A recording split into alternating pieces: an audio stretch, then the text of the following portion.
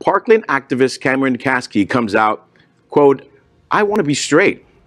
Excuse me, I wanted to be straight, end quote. Cameron Kasky, a gun control activist and survivor of 2018's mass shooting of Parkland, Florida's Marjory Stoneman Douglas High School, came out in a letter tweeted this week. Kasky emerged as one of the most prominent survivors of the massacre, which killed 17 of his classmates. Along with other students that included out Parkland survivor X Gonzalez, Kasky helped organize the 2018 March for Our, Our Lives Gun Control rally in Washington, D.C. In his tweet, he said, quote, I don't know what type of queer I am, and I'm finally okay with that. Bi? Maybe. I don't know, man. The journey towards self acceptance is one I have been on for years now. But the most difficult aspect has been searching for meaning in sexual identity when there truly is none. At least not for me. I've wanted to be straight for so long. A straight guy who's done some gay stuff here and there. There's so much security in heterosexuality, end quote.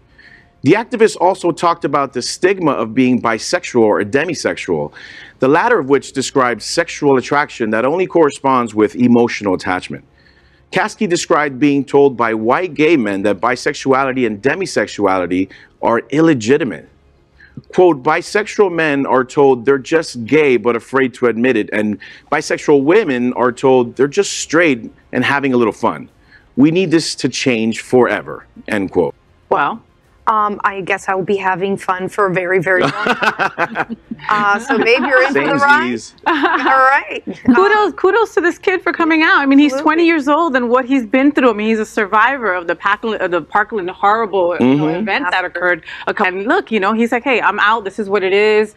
Uh, respect me for who I am, and I'm gonna take the lead on this, just like he did when it came to that gun control rally. You know, I mean, God, so much. I mean, our future is there, you know? It's know. amazing. Um, you know, I think back when I was in high school, which was not that long ago, you know, she did rob the cradle.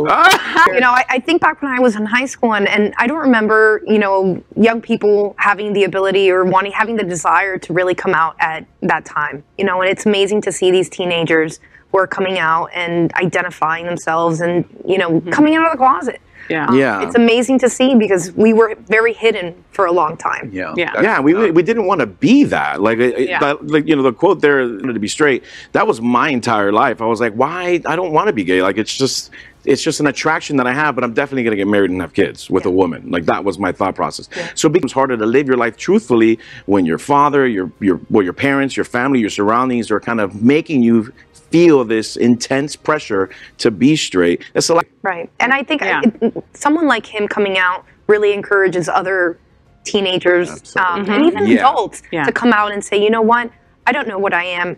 I may be gay, I may be bi, I may be demisexual. That's the first time I've ever heard that term. But I may be whatever I am, but I am who I am, and that's okay. I, and, that's, and that's okay. okay. And I think that's what what you said is very powerful in that he's talking about this idea of that you know there's a spectrum. There's not a mm-hmm. right way or a wrong way, or like you have to be here or you have to be there. No, there's a spectrum, right? And so anywhere that you fall is still okay. It's very uh, well thought out words that he said because it's encouraging. Wherever you fall on that spectrum, it's completely fine. Yeah. You're yeah. still going to. You know, um, uh, to Mr. Gasky or Gasky, um, we can be led by very young people, and I wish I was nearly as bright as you are at this age uh, when I was your age. I, I, wish you were that bright now. Yeah, there's was, some truth to that. There's some truth to, uh, of the National March um, uh, uh, post Parkland in Washington, and I watched your almost genius in how you helped orchestrate uh, that moment.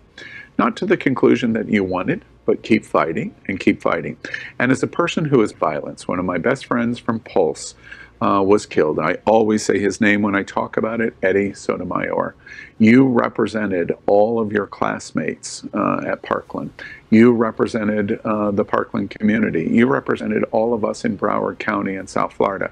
And ultimately, when you did that march, and uh, that uh, that rally in Washington, you represented all of America, and you're to be congratulated what you did.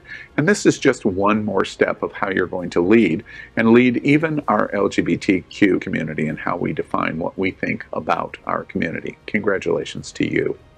Well said. LGBTQ plus news is vital for our world as a whole. We have enough enemies at Fox News. Tucker, Sean, and Lara are loud. We need passionate allies. Happening Out Television Network, Queer News Tonight, and It's Happening Out are literally out of the headlines. Our community needs your support. Like this broadcast and subscribe now to ensure the growth of the entire LGBT community.